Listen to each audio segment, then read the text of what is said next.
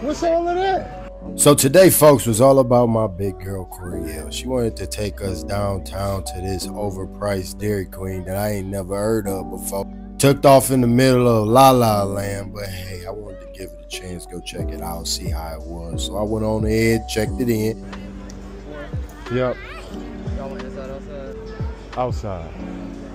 But I get it though. If I was just in town visiting, this was a very nice scenery. It looked good. You seeing people all around. It's lively. You in the middle of everything.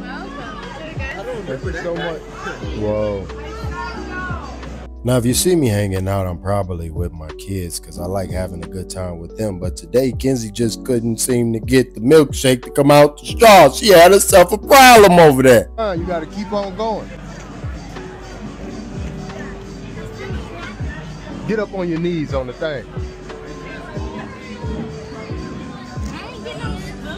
Move it around a little bit. No, the, the straw. Don't put it all the way at the bottom though. There you go. Try it now. Now, you mean to tell me with this big old super straw, you can't get nothing to come up out of here, girl? You just something going wrong. Or you lying? Ken, do it. I see. She caught herself trying to take a quick little swallow right quick, but left all of the chocolate chips on her mouth, on her tongue and stuff. Like I wasn't gonna see it. Tried to lie, act like she wasn't getting nothing. I see chocolate in your mouth. Look at.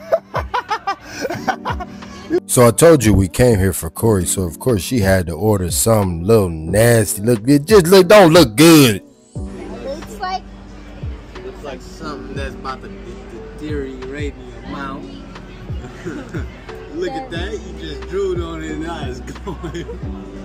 Look at that, you don't even taste it for real. You could have got that from Dollar Tree. Oh, you could have got that from Dollar Tree. Okay, okay, okay. that's cotton candy. See what I've been learning about women, starting off with my little girls, is that no matter where you take them, it's hard to make them happy. They're gonna find something to complain about because we come here for you. You was happy at first, and then this happened. Check it out. Oh shit. Here we go. See what I'm saying?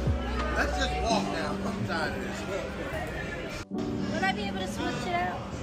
Talk to the sun. I was trying to find out. All right. It's Lily.